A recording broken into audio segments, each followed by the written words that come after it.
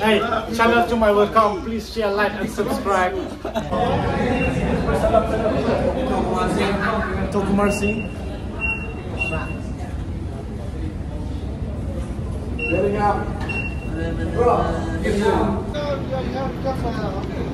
Hey, how are you? How do you feel you reached uh, Kolkata? I feel very good and very excited. Uh, how was the game tomorrow? Uh, uh, about tomorrow?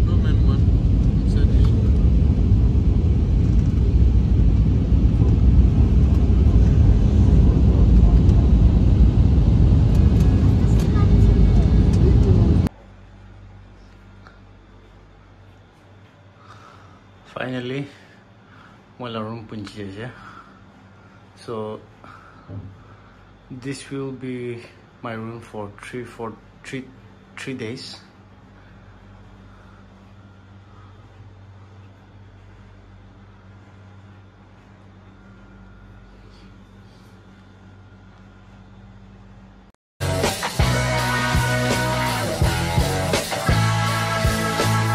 win the bragging rights by the barest of margins.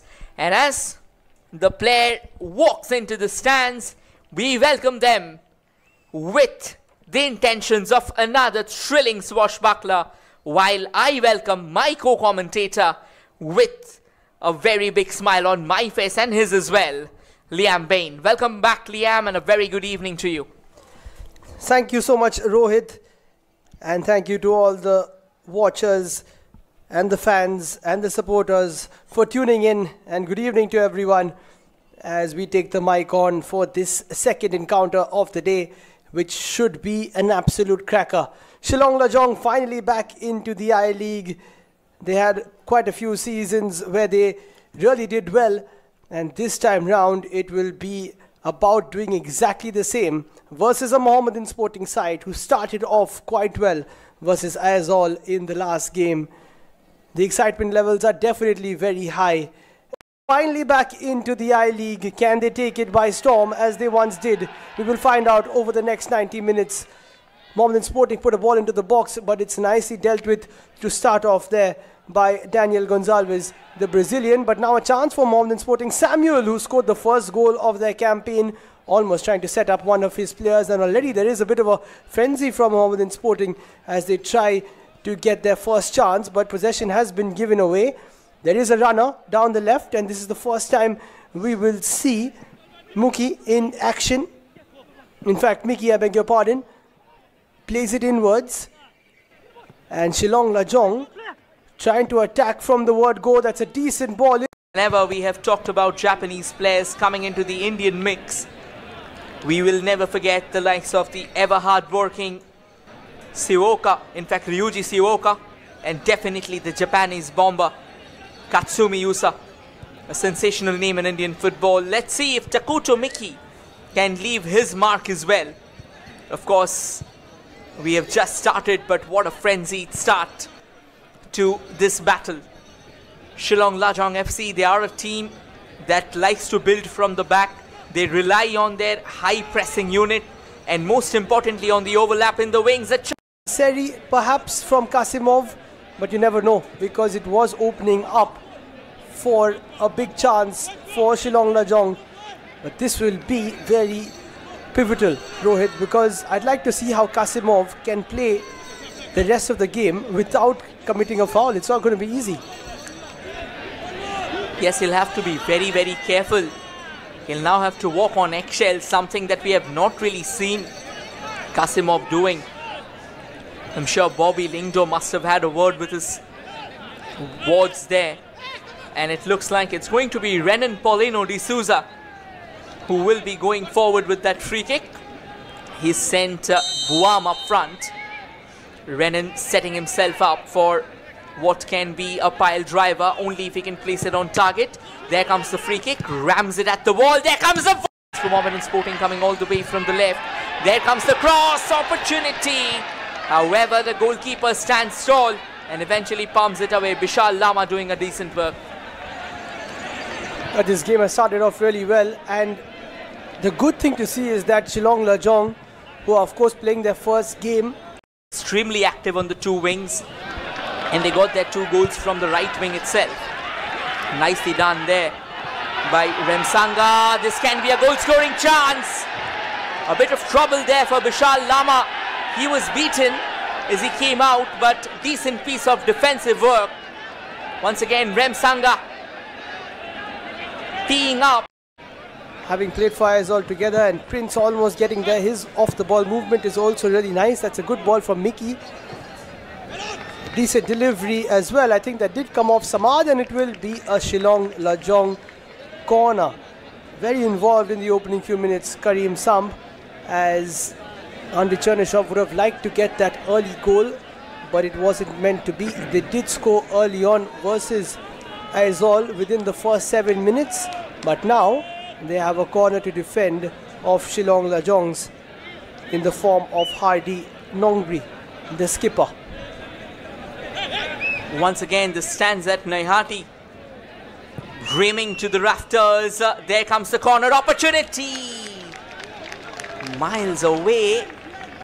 That first grasp was definitely questionable.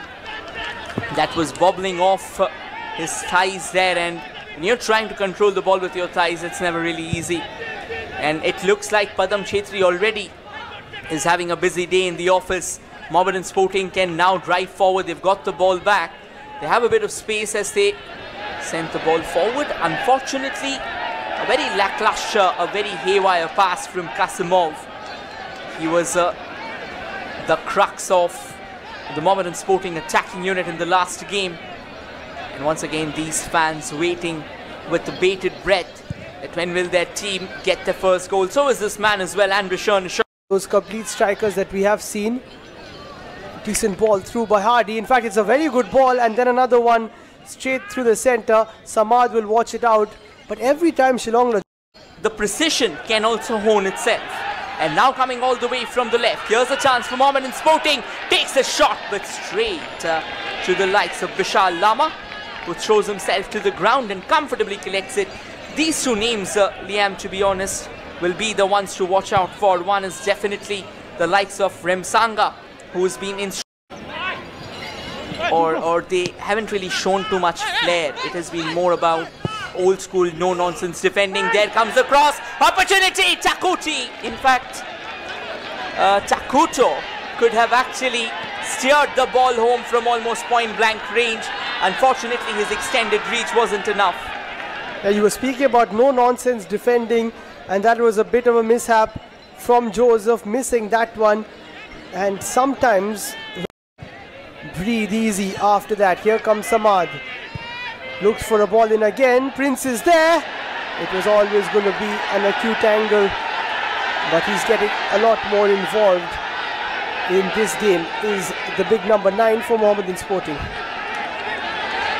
That was a lovely ball, all right, but I think uh, alongside the brute force and power that they bring to the platter, it is a treat for the eyes. No, definitely it is. See Allen with an opportunity to cross, plays it into the path of one of the Shillong Lajong players. And now it is sprayed backwards by Renan Paulinho, who does like to hold on to possession rather than go for the creative pass. Here they come again. There was a bit of a touch on it. Karim cannot get a finesse touch this time round. And it was cleared by Joseph. But Lajong will rebuild. Here is Allen, who's at the heart of quite a few of and he's almost scored Olympicos in his earlier footballing history. Chance there, the header, not really on target from Karim Samb but the danger's not yet over. Here's a chance, goes for an acrobat of time. And now Shillong Lajong tries to drive forward. This could have been a moment of negligence from Prince and would have eventually led, in fact, a moment. But luckily for him, the whistle had gone earlier. Here come Shillong Lajong again. Takuto plays it through. This is a chance. Buam isn't able to turn. That is good from Joseph. And now Allen with a very good delivery in. There's a bit of pressure on Mohammedan Sporting. And that is goal number one for Shillong Lajong. as they come back into the I League. It's none other than the Japanese Takuto Miki who gets the lead for the visitors and the stroke of half time. Venturing into the opposition's gate, into the opposition's den, the Japanese has dropped a bomb that would worth a thousand miles. What a sensational half. Eventually gets it. It's played towards the far left, nicely controlled. Tries to steer all the way in. Unfortunately, it looks like it won't be something significant enough for Good work by him so far in the second half. And now eventually a ball sent forward. The flag has stayed down. Can be a opportunity for Mohammedan Sporting. David Amar shoots it and finds the equalizer. What a sensational welcome to the I-League. It's his second appearance and his first goal. Look at the crowd. They are absolutely elated. What a moment in the Naihati Stadium. David Hamar once again to the party for the Mohammedan Sporting side. In the second half. Well, uh, this can be another chance for Mohammedan Sporting. There comes the cross. David so close yet so far. But the danger still not over as Mohammedan enough confidence. I think that's the right time for him to start the game. Mohammedan Sporting on the move. That is a sensational through ball. Could have been trouble. However, it looks like it's the goalkeeper. Bikash Lama who's pulled off a crucial save at the expense of his own shin. Oh, that is painful, I think, for Bikash. Ramsanga is complaining. I'm not too sure who went into him. But it's a lovely ball for Mango. It was Ramsanga. Oh yes, that is very painful. Kasimov did really well after Ango, before Ango got the ball. And you can see a bit of a clash. Kind of challenge that we just witnessed when someone is just steaming in at you at full speed. It can be very, very challenging. So, but again, kudos to Vishal Lama. And it looks like he may have to be taken off. I think that is going to be the case which may bring on Neitho Chalieu into the mix. We just wish him a very speedy recovery and not something serious. Maybe he can just take some rest and receive the primary treatment and be alright. But these definitely aren't welcome scenes for Shillong Lajong. Oh, yes. Didn't think it would be that bad, but it looks like it will be a chance for Natho to come on and he has to be thrown straight into the thick of the action. You can see a lot of the Mohammedan Sporting players just helping him onto the stretcher. Hopefully it's nothing too serious. Renan Paulinho. In fact, uh, apologies, Daniel Gonzalez. The way he got beaten, that was extremely meek. Just that one outside dodge and he was taken off his balance. And now it's a test for Neitho because at the moment Mohammedan Sporting is kind of breathing fire. And with the goal in their favour, they'll even be more primed to take those long ranges. Going off, we wish him a speedy recovery, especially when you've got a new keeper, Neitho, who's just been thrown into the mix. You've got 30 minutes, you've got a new goalkeeper onto the pitch, you've just scored a goal. This is the chance for Mohammedan Sporting. They've got to defend this one though. I think it went out of. Lajong can drive forward. They can have an opportunity knocking on the doors. This can be a shooting chance as well. Wonderfully steed up. There comes the opportunity and miss from point blank. Opportunity knocking on the doors. This can be a shooting chance as well. Wonderfully steed up. There comes the opportunity and miss from point blank range. That should have been taken with arms wide open by Sangti Shanglong. Unfortunately, he just couldn't keep it down. Reach the 64th minute of the game. You would expect those long balls to come in from your defense. So you will need a marksman as good as the likes of Eddie Gabriel.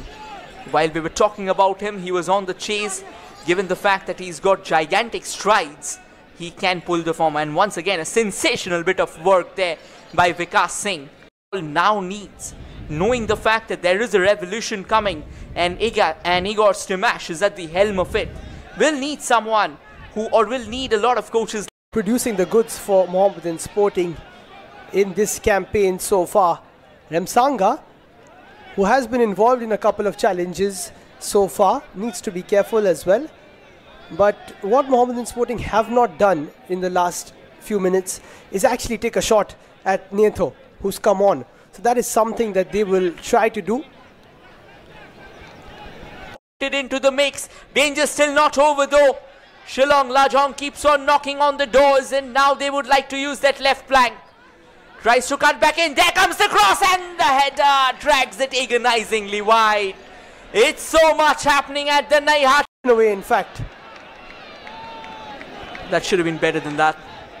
You're playing around in this 80th minute and you're giving the ball away. Here comes the Japanese Miki trying to cut back in. That's a lovely ball. Could have been a goal scoring chance. But then blocked right in the nick of time. An opportune tackle there from Mohammedan Sporting. And now they try and drive forward from the right, looking for some help.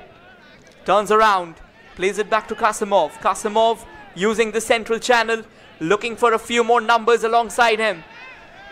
Now steers it further. However, Shillong Lajong puts in a timely challenge. Tonmoy back to Kasimov. Kasimov desperately trying to control the ball. Does decent again. Back to Tonmoy. Looking around for more numbers. Vikas. Plays it towards the far right. Zoding Liana. However, excellently done by Shillong Lajong. A great challenge there by Kin Sai Lang Kongsit, who has come over to Shillong Lajong from. All he has been superb. There's the ball towards Hernandez. That's a bit of a clash of heads, and I think both of them will stay down. This is how to put those balls into the box. Like Remsanga, who gets a much deserved break. Great game from him. As always, what an addition he has been to the side. There have been some great signings, I have to say, from Mohammedan Sporting this season. Flag did go up. And I do understand your excitement, Rohit. It has been another incredible day of football in the I League. A double header. This one, of course, closely, closely contested as compared to the first one. Srinidhi Deccan running rampage on Inter Kashi. And we have more action for you tomorrow, day after, and almost every day in the I League. In what should be a memorable start off the left, cut in, and score. But after that, most of the time he's got the ball has been centrally. So that has been a bit of an issue for him where he has to drop deep, try and turn on a couple of defenders. That's not really his game as we move closer towards the 90th minute. Joseph tries to get the ball away, he falls, and it is a free kick conceded by Hardy, who has played really well. The Shillong Lajong captain just holding off Joseph for a second, and he had to make that challenge. And he is quite an experienced player, has played for Shillong Lajong since 2016, and now has come back into the mix. And six minutes to take us through this matchup. Six minutes to pen history, six minutes to forge a drama written better than the story of Indian football. Mohammedan Sporting on the drive, Shillong Lajong somewhat stuck. I think they have went into perennial reverse gear here. They're barely able to break free. Marvin Mohammedan Sporting coming all the way from the right keeps the ball at their feet, looking around for scoring chance. Their captain sends in a looping cross that goes straight down the throat of uh, Neitho, who collects it and goes down. Yeah, Neitho has done quite well since coming on. As I said, hasn't been asked to make any saves as such. Launches that one long as the one minute has been played off the six. Here comes Shillong Lajong again. Tanmoy has done a good job in that midfield. Does usually play slightly higher up the pitch but is doing really well here. Once again, Mohammedan Sporting trying to use the left wing ever since the introduction. It was not easy to cross them. They were always uh, keeping their opposition on the toes. So it was heartbreaking to see them getting relegated. But once again, they are a side that doesn't really take the fall easy. You know, we say that no matter how many times you fall, what matters they are slowly going forward. Tonmoy on the ball. Zoding Liana screaming on the left. Plays it to the extreme left, in fact. before it could reach Vikas Singh. That was cleared away. Zoding Liana back on the ball, sends in a cross, headed away to safety by Shillong Lajong. And it looks like Mohammedan Sporting will still have a say. Zoding Liana desperate to raid down into the path of Vikas Singh, who still stays in the mix. There comes the cross, but straight into the safe hands of Neitho Chalieu. He's proven to be absolutely unbeatable ever since he's come on. Yeah, Bikash Singh needed to take a look at the run of Kasimov. He was empty, and that's why Kasimov gave, gave him a bit of a mouthful. That should be that. And they've only had one meeting between them, these two teams, back in 2014. What a game that last chance if it is kept in. Yes, it is by David. The last throw of the dice for sure for Mohammedan Sporting. Into the 97th minute we go. And they will keep coming. A chance for a final cross. It is a delivery. David once again has to set it up for someone to shoot. Kasimov leaves it. The shot comes in. What a strike that was from Zoding Liana. But Nato has been superb and he will take that ball to bed if he has to. We talk about uh, baptism by fire. Nato has been subjected to that and he will come out unscathed. What a game he's had, what a game we have had. Eventually, that من فاس one وانگه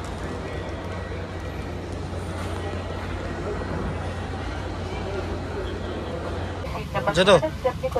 ओए जदो। सामने वाली कुर्सी के नीचे क्या आप seat के ऊपर बने ओवरहेड बिट्स में ही रखें यदि आप लोग एक में या इमरजेंसी एग्जिट सीट के पास बैठे हैं तो कृपया सामने सामान को ओवरहेड बिट्स में ही रखें। तो एक्सपेडाइट